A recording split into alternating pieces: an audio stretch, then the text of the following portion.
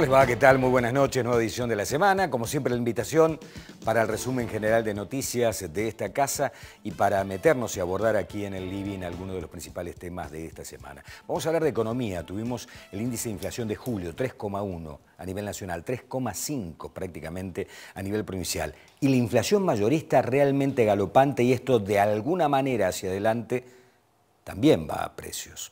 Vamos a hablar de esto, vamos a hablar del dólar, vamos a hablar de toda la turbulencia de los cuadernos. Va a estar con nosotros Héctor Paglia. El tema de la basura es otro tema que ha preocupado. Muchísima gente se ha quejado porque, sobre todo, una de las empresas que ha ganado nuevamente la licitación, una de las zonas en la licitación que es la empresa Cotreco, no está terminando los recorridos y hay serios inconvenientes, montañas de basura en algunos barrios. Tres concejales van a estar hablando con nosotros de este tema. Vamos a hablar también de Río Tercero, una muy querida ciudad del interior de Córdoba que está sufriendo las consecuencias de despidos en la fábrica militar. Había ocurrido también en Villa María. De alguna manera, la fábrica militar y petroquímica son la historia viva de Río Tercero. Va a estar con nosotros un concejal y dos miembros del centro comercial. Y además vamos a hablar del plan de manejo de fuego, de esta estación seca tan prolongada que tenemos en Córdoba, de los incendios, de lo que debemos hacer, del trabajo de los bomberos, del presupuesto de los bomberos, alcanza, no alcanza, de qué manera podemos colaborar. Va a estar con nosotros Claudio Viñeta. Empezamos a resumir noticias. Estos son los principales hechos informativos de los días lunes y martes.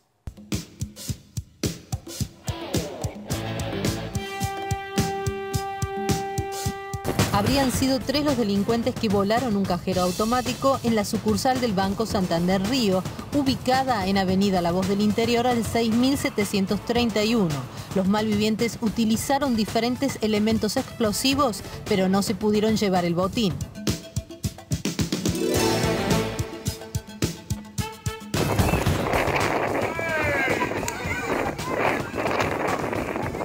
Yo no lo puedo creer todavía. De los 6, 7 años que juego al fútbol es la primera vez que me pasa esto.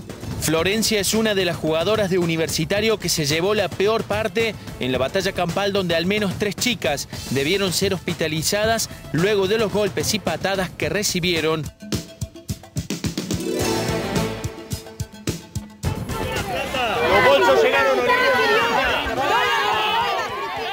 Cristina Fernández de Kirchner salió de su departamento en el barrio porteño de La Recoleta pasadas las 9 y cuarto de la mañana. 15 minutos después, acompañada por su abogado, el doctor Carlos Veraldi, y sin hacer declaraciones a la prensa, ingresó por una puerta lateral a los tribunales federales de Comodoro Pi 2002, donde se había desplegado un fuerte operativo de seguridad.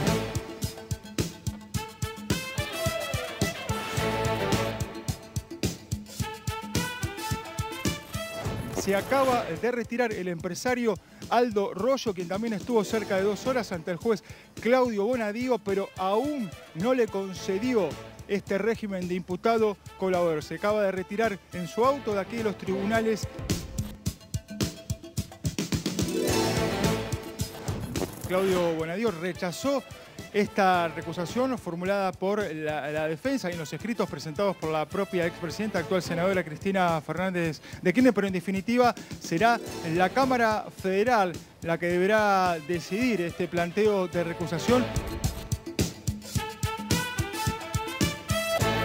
Yo voy a hablar con todos los legisladores de Córdoba en el Congreso de la Nación y también con el gobernador. Nosotros esperamos el apoyo de la sociedad para, em, para que le digan a los legisladores de la provincia de Córdoba la importancia que tiene la universidad y sus docentes.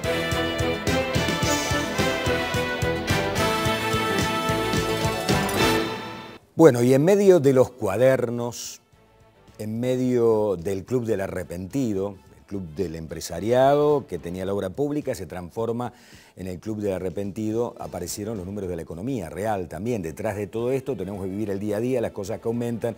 Se conoció el dato de la inflación del mes de julio y presentamos la nota y después hablamos de todos estos aspectos vinculados a la economía con Héctor Paglia.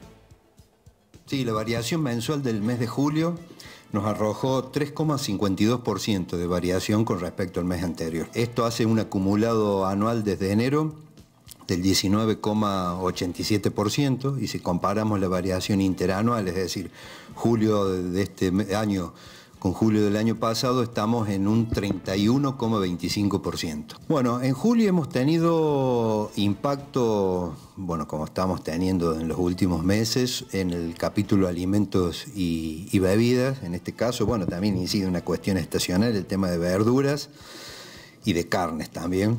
También tenemos incidencia de tarifas de agua, y, eléctricas, también en el capítulo de propiedades, combustibles, agua y electricidad. Y la otra incidencia importante, eh, o el peso importante dentro del, número que arrojó este mes, lo estamos teniendo eh, en el capítulo transporte y comunicaciones debido a los aumentos de las naftas.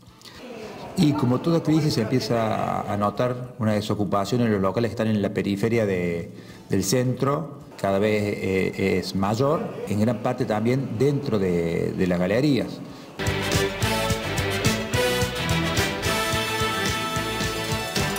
Bueno, y son muchos los aspectos de la economía ¿no? que tienen serios inconvenientes. Vamos a hablar en este programa también de lo que está ocurriendo en Villa María. En Río Tercero, fundamentalmente, nos visita gente de Río Tercero para hablar del tema de la fábrica militar. Está con nosotros Héctor Paglia. Héctor, qué gusto siempre. ¿eh? Igualmente, ¿qué tal, A pesar de que por allí no son tan gratos los temas. Sería bueno decir, che, estamos creciendo, nos está yendo bárbaro, en fin. Pero tenemos serios inconvenientes. Un dólar que parecía que no tenía techo, un banco central que sale a liquidar cientos de millones, 800 fueron. En un día, 800 millones de dólares. 800 millones, y un índice de inflación realmente muy alto, y un índice mayorista que realmente es alarmante porque en algún momento tienen que trasladar a precio esos números también y se van a ver reflejados en el precio de las cosas. Exacto, anticipa el comportamiento de los precios minoristas. Eh, lo que tú señalas es muy claro y yo creo que es un buen resumen.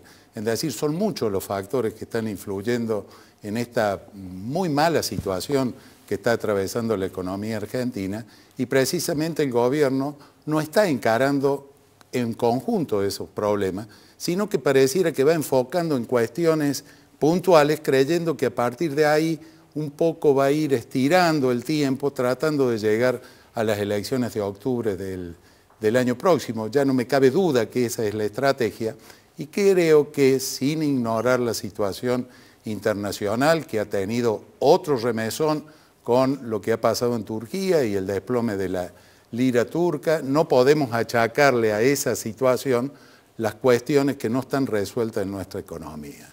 Y estas cuestiones son esas precisamente. El gobierno ha creído en los últimos días, primero creyó que la paz cambiaria que había obtenido ya era duradera y los hechos le demostraron, eh, pero con una contundencia muy grande que no era así. Entonces creyó que lo que tenía que hacer era desarmar el tema LEVAC y que con eso iba a poder afrontar la situación. Si bien es un problema muy serio, y lo hemos dicho acá, el tema de las LEVAC, creer que con ese solo instrumento o trabajando sobre eso iba a solucionar el resto del problema, no es el camino adecuado. ¿Con qué se encuentra? Sí, nos vamos a encontrar con un menor stock de LEVAC, pero nos vamos a encontrar con menos reservas que, como bien señalaste, se venden en el mercado para afrontar esto y además nos vamos a encontrar con más riesgo país, con más deuda, con más inflación y con más recesión. ¿Y cuánto le pega en la cabeza el tema de los cuadernos a la economía también? Porque estamos hablando de una crisis de credibilidad también. ¿no? Acá la, gente, los mercados, no creen en lo que determina el gobierno. El tema de los cuadernos, que es un escandalete nacional, ¿en cuánto le pega? Sí, yo creo que acá credibilidad, confianza y cuadernos van atados de la mano. Hasta dónde va a llegar todavía no podemos medirlo. Sí podemos ver qué ha pasado en países cercanos como Brasil, donde situaciones de este tipo, por más que se diga que no, que es distinto, porque en Brasil era sobre un gobierno que estaba en ejercicio de las funciones y ahora lo que pasa en Argentina es sobre el gobierno que se fue, en realidad esto impactó fuertemente, hizo caer el producto casi un 4%, y para una Argentina que está en una situación vulnerable, entrando en un ciclo recesivo muy fuerte, esta situación, si no se maneja con la pericia, la objetividad que debe ser manejada, indudablemente que va a golpear. De hecho, ya eh, no solamente el parate de la obra pública que se comprometió con el Fondo Monetario Internacional para bajar gastos, eh, a esto se está sumando que los inversores que financian sobre todo los programas de participación privada para encarar obra pública, están haciendo lo que se denomina en inglés el wait and see, es decir, esperemos y veamos en qué termina esta situación. Yo soy de los que creen que todos los que eh, se han corrompido tienen que ir presos. No, eso no cabe duda. Si alguna vez en este país el que las hace no las... A ver, esto es regla, el que las hace no las paga en Argentina y tiene que cambiar. Tiene que haber un cambio de paradigma, ¿no?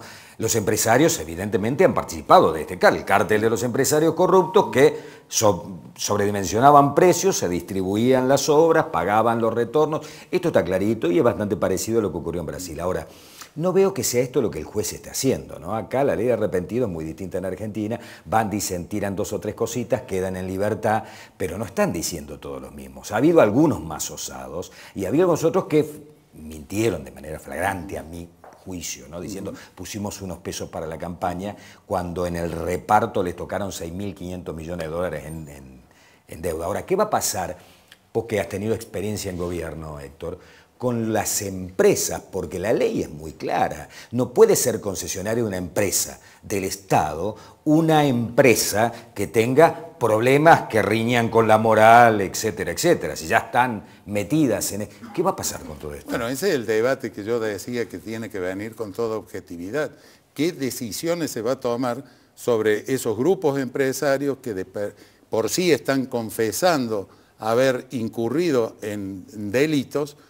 En, relación a las obras que ya tienen adjudicadas y en las obras por venir. Entonces, y en las empresas concesionadas, porque digamos, hay muchas multifunciones que tienen juego, tienen casinos, tienen peajes, tienen agua, tienen y tienen y tienen. Por eso esta discusión va a llevar a un reacomodamiento eh, del mundo empresario muy cierto. Desde ya estamos viendo que hay sectores del empresariado que están pidiendo que se haga una distinción entre unos y otros. Entonces, todo esto puede traer un gran cambio para la Argentina, puede ser algo muy positivo siempre y cuando a partir de esto empiece a tener acceso al manejo de la cosa pública, la gente capaz, la gente idónea, la gente honesta, la que realmente vea la función pública como un servicio y no como un negocio para es enriquecerse. Es una oportunidad, pero dependemos de una justicia que es lenta siempre en Argentina. Dependemos de muchos factores. Si este proceso es tan lento y mientras tanto no hay crédito, nadie nos cree, pues se puede llegar realmente a... Seguro, seguro y más con una malla social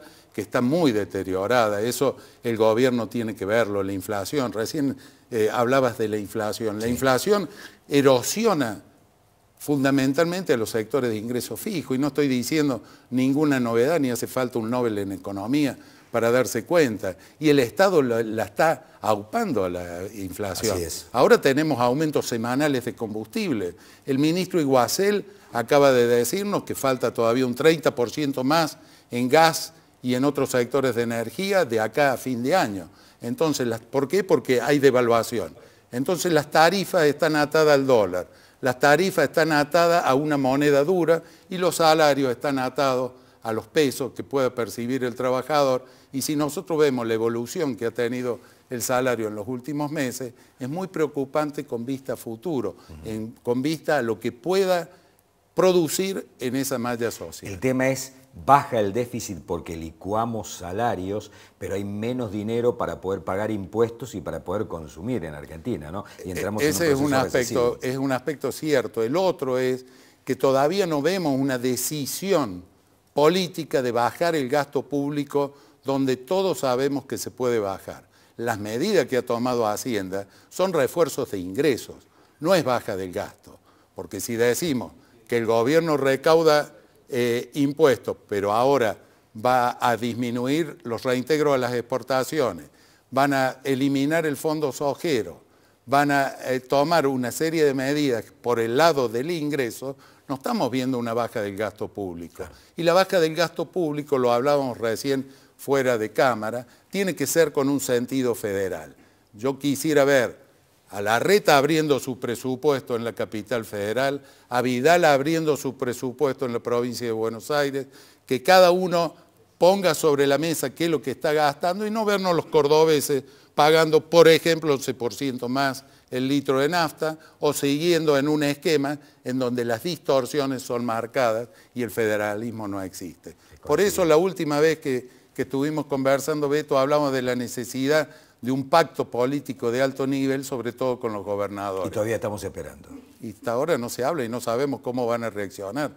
Se ha cortado por lo más débil. Vos que recorres los municipios debes ver la necesidad que tienen aquellos municipios de los fondos que llegan para obras. y eso se han recortado unilateralmente. Ahora justamente vamos a hablar con la gente de Río Tercero, ¿eh? por esta situación de la fábrica militar Héctor. Muchísimas gracias. Al contrario, ¿eh? un gusto. vamos al corte, cuando reencontremos Río Tercero aquí.